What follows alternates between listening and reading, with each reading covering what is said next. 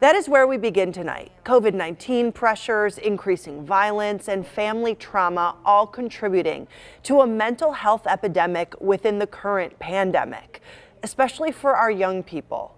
Stephanie Haynes introduces us to a Milwaukee mother and daughter working together to help others. Marika Rogers is a licensed professional counselor in Milwaukee.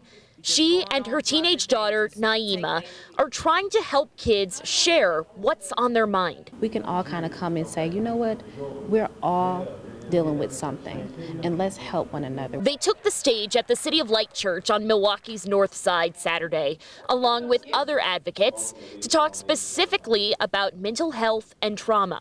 I want to um, go back to when you were saying like being different and not, you know, following your friends.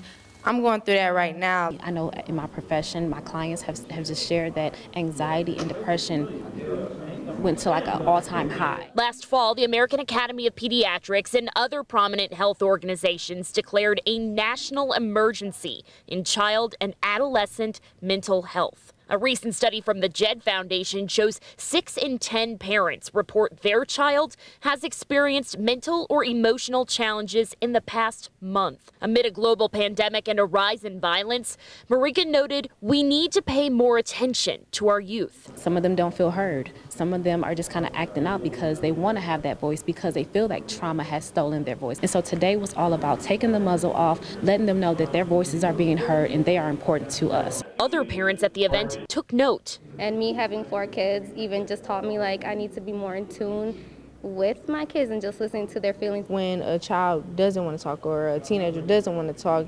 don't just let them walk away. You know, put them back in. Just keep on trying. Don't give up on our youth.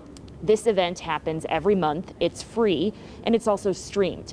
We'll have a link to how you can watch it at TMJ4.com. In Milwaukee, Stephanie Haynes, TMJ4 News.